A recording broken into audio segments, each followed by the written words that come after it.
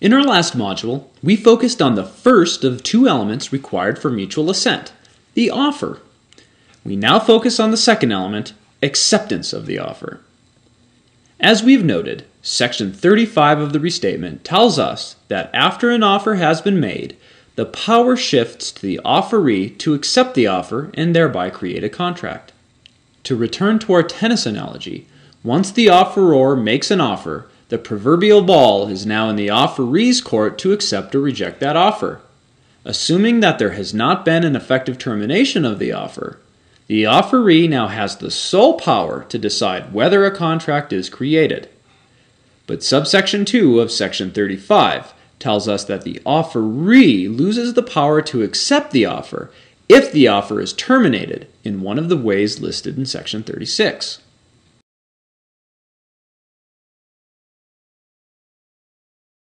Section 36 of the restatement indicates several ways in which an offeree's power of acceptance can be terminated, one of which we explored in the last module revocation of the offer by the offeror. Let's look at the other ways in which the offeree's power of acceptance can be terminated.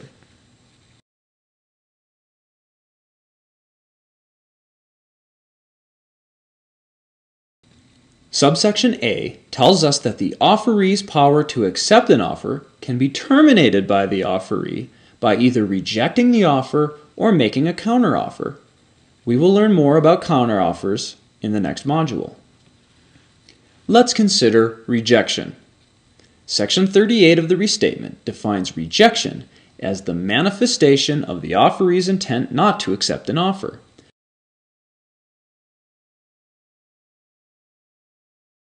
Thus, if the offeree says something like, I'm not interested in your offer, the offeree has communicated a rejection of the offer. Again, whether an offeree's statement will be considered to manifest an intention to reject an offer will be judged by an objective approach, judged through the eyes of a reasonable person. We learn that the offeree's power of acceptance is also terminated by a lapse of time. The notion of lapse of time is discussed in section 41 of the restatement.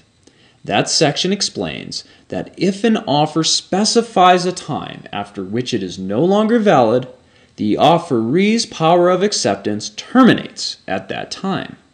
If no such time is specified, then the offeree's power of acceptance terminates at the end of a reasonable time.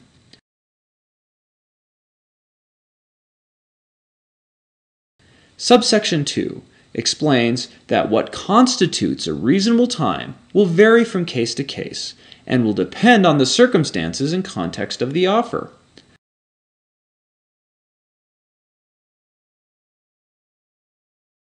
What is critical to note is that every offer has an expiration date. An offer expires as expressly specified in the offer, or, absent a specified time, within a reasonable time after the offer had been made. We also learn in section 36 that an offer is terminated upon if the offeror either dies or becomes incapacitated. With respect to subsection 2, we will learn about conditions later in the course.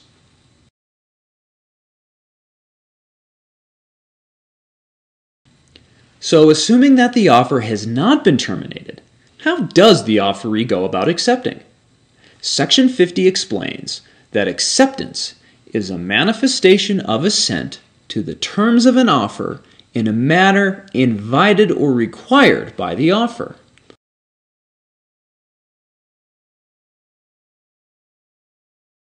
Once again, the idea of a manifestation of assent implies an objective approach to determining whether an acceptance has occurred. Would a reasonable person view the offeree's words and actions as indicating an intent to accept the offer? The offeree's undisclosed subjective intention is irrelevant to determining whether there has been a valid acceptance. So if Sam offers to sell his car to Mary for $10,000 and Mary says, I'll take it, a contract has been formed even if Mary was just kidding If Sam understood Mary's response to be serious, we have a bargain.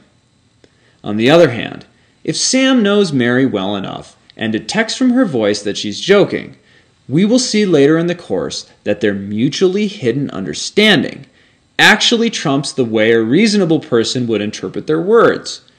When Sam is aware that Mary is kidding, no contract is formed. The last phrase, in a manner invited or required by the offer, is of particular importance. We have learned that the offeror is the master of the offer. In addition to being able to propose the terms that he desires to be part of his offer, Section 30 tells us that the offeror could also specify the manner of acceptance of the offer.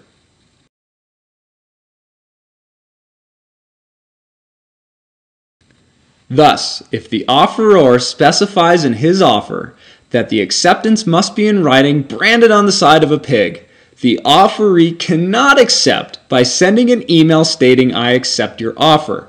To accept the offer, the offeree must comply with the offeror's specified manner of acceptance. Any other form of acceptance is simply not kosher. The idea that the offeror is master of the offer is reiterated in section 58 of the restatement, which states that acceptance must comply with the requirements of the offer.